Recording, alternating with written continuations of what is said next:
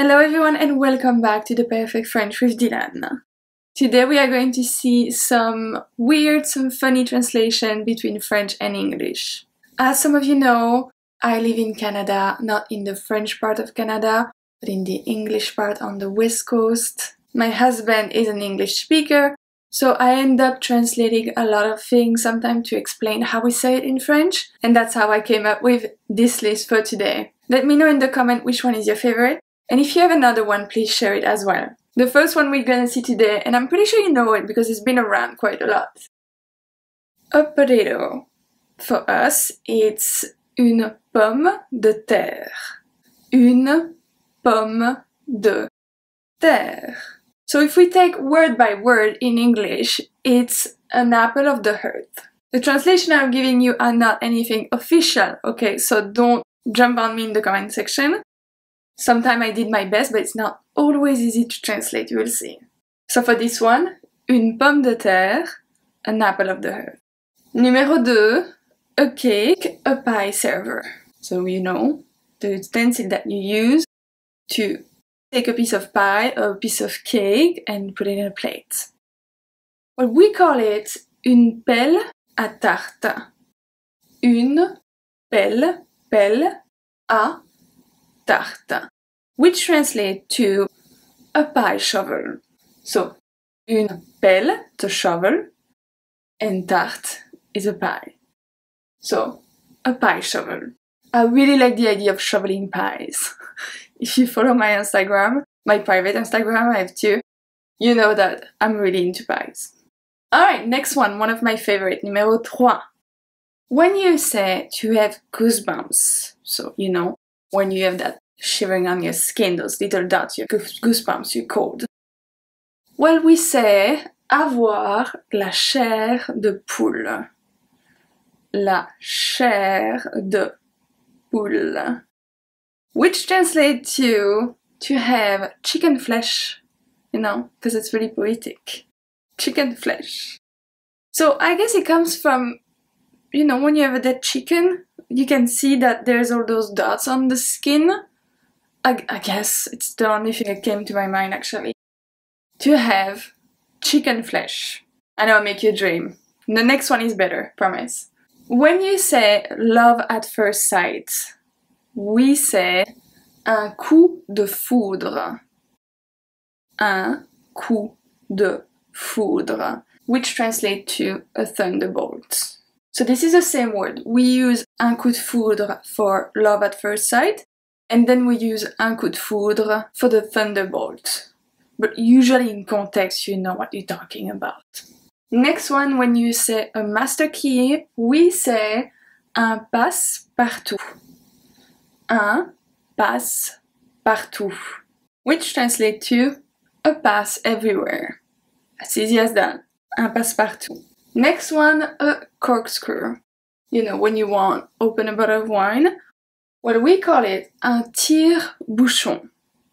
Un tire-bouchon. And this one is quite literal, you will see. So it's literally a pull cork. That's just that. Un tire-bouchon. This one, everybody has one, a wallet. Well, for us, it's un portefeuille. Un portefeuille feuille, which translates to a piece of paper holder, un portefeuille. This one is very good as well, a rainbow. For us, it's un arc-en-ciel. Un arc-en-ciel. And this is perfect for this month.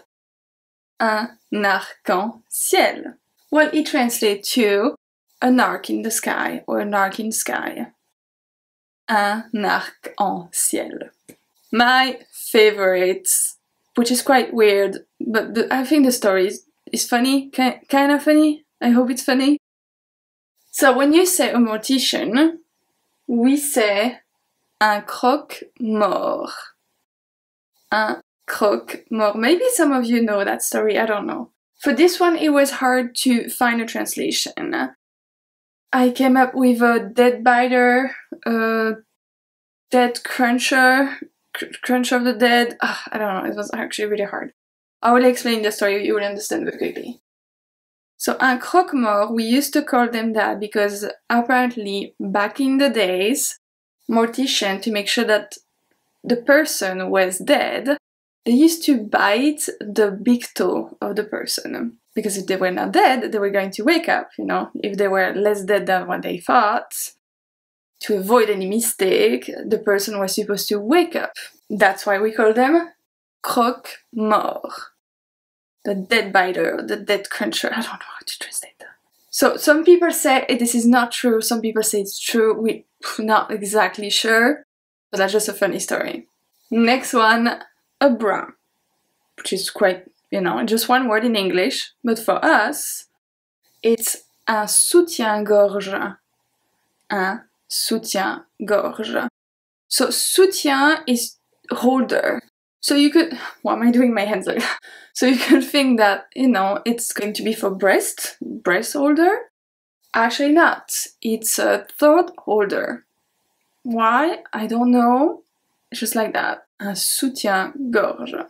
Next one. When you say a midwife or a doula, we say une sage femme. Une sage femme. Which translates to a wise woman. It probably comes from back in the day. That was probably the person who knew the most. So, une sage femme. So, when in English you say a headband, we call it un serre-tête. Serre-tête. So serre comes from the verb serrer, which means to squeeze. And that, of course, is head. So, it's a head squeezer. Un serre-tête. This one, if you follow me on Instagram, I just share a video about that that someone made for me that was very cool. You can go check it out, it's still on it. An appetizer for us, it's an amuse-bouche. Un amuse-bouche. Which translates to an amuse-mouth. An amuse-mouth, I don't know. An amuse-bouche. This one, I'm not too sure why we have a difference, but when you say a ponytail, for us, it's une queue de cheval. Une queue de cheval. It means a horse tail. So when you say a ponytail, we say a horse tail. That's all the one I found. I hope you enjoy. I hope you learned something. If you have other ones, don't hesitate to share them in the comments. Also, let me know your favorite. Don't forget to subscribe and like this video. And I will see you soon for another lesson.